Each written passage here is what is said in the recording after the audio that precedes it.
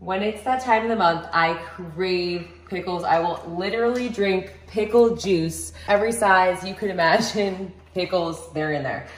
Hey you guys, I'm Olivia Culpo and I'm gonna give you a refrigerator tour.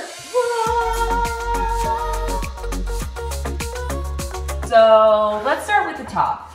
These are pure collagen and I was taking these every morning because I was trying to tell if it did something to my skin and I'm gonna get back to you on that one because I don't know yet.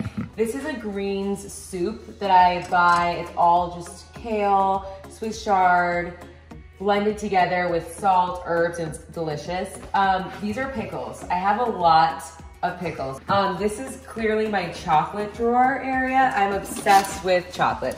I have M&M chocolate.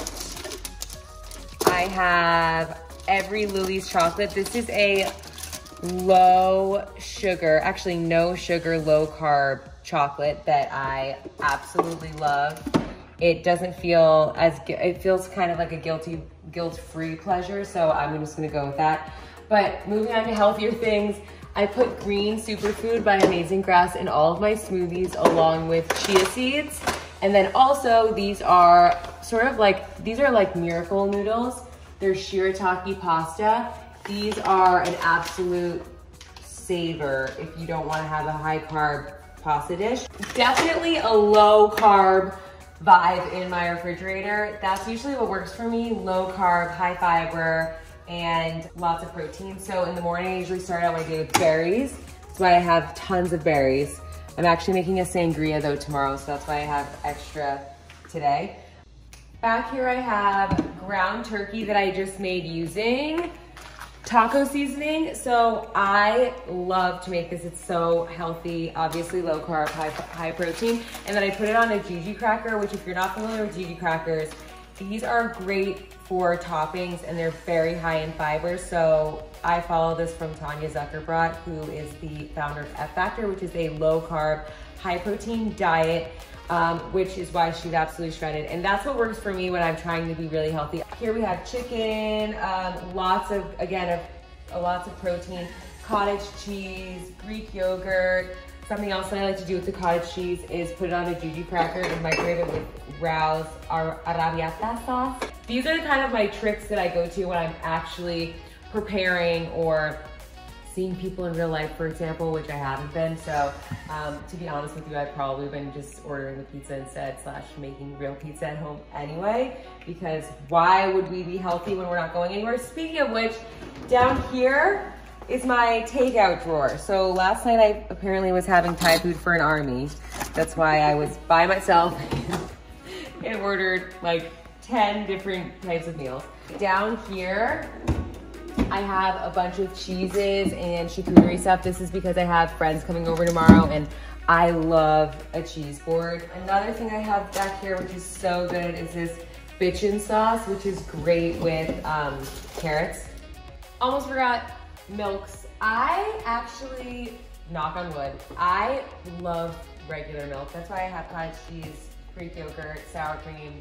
But I know some people have sensitive stomachs and I've been trying to be more conscious even about the sugar in regular milk. So I use almond milk in the mornings or my sister drinks the oat milk. I think that's all for here. I'm gonna show you the freezer.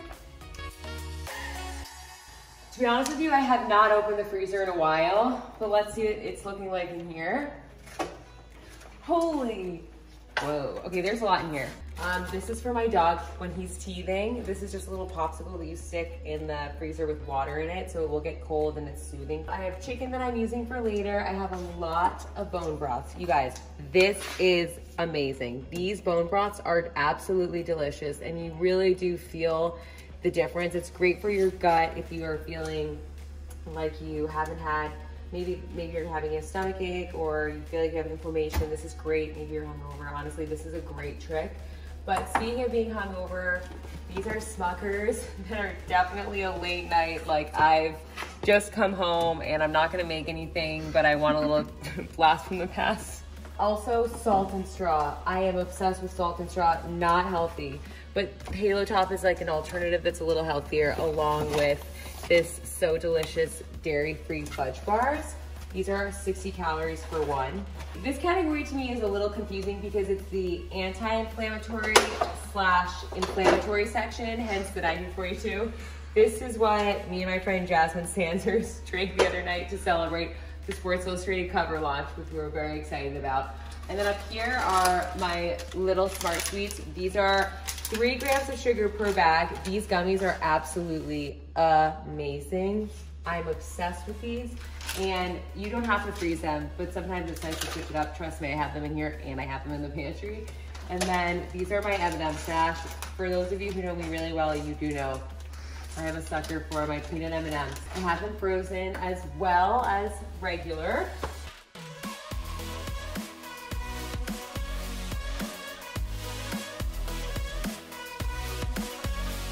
Okay guys, there you have it. That is my very low carb, high protein, high fiber refrigerator. I hope you learned something and don't forget to subscribe below.